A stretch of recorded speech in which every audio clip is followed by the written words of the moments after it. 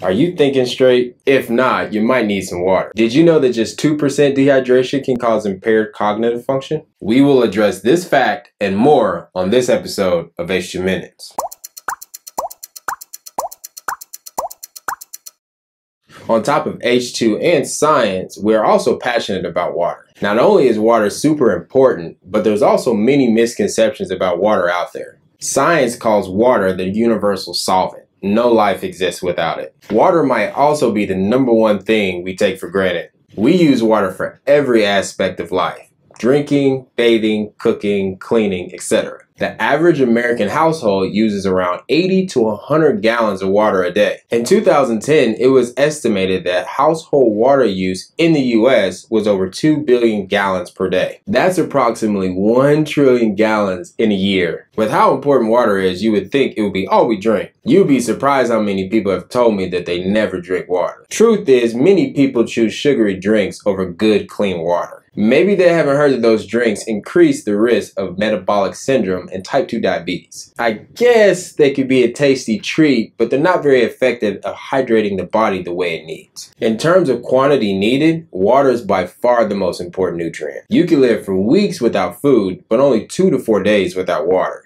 The reality is our bodies is 55 to 75% water so it is imperative that we are properly hydrated. Here's the breakdown based off the chemistry of the body. Our brain and hearts are around 73% water. Our lungs are around 83% water. The kidneys and muscles are 79%. The skin is 64%. Our bones are even 31%. And our blood is 90% water. So as you can see, our bodies are no stranger to water. In fact, water is one of the primary building blocks of cells. Water serves many purposes in our bodies as well. Water carries nutrients into the cell and out of the cell. Water lubricates joints and tissues. Water maintains blood volume and viscosity. Water helps prevent memory loss. Water aids in electrical nerve conductivity. Water helps flush waste and toxins from the body. Water helps to reduce oxidative stress. Water improves cognitive function.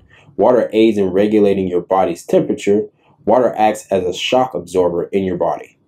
Wow, looks like our bodies love them some water. So, in that case, what does it look like when our bodies don't have enough water?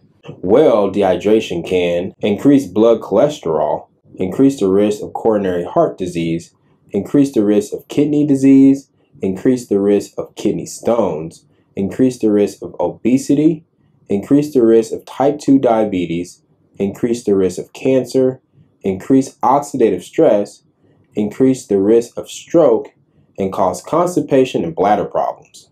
Water deprivation and dehydration can also lead to the development of headaches. Like I said before, mild to moderate dehydration can impair important aspects of cognitive function.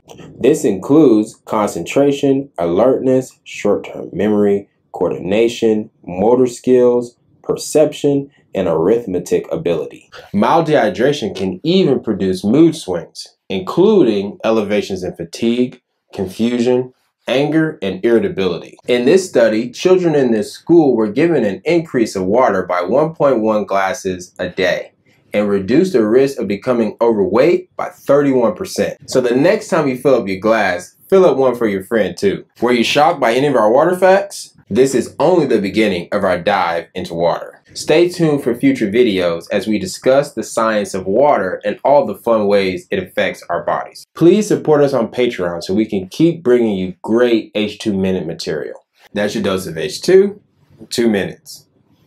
Cheers.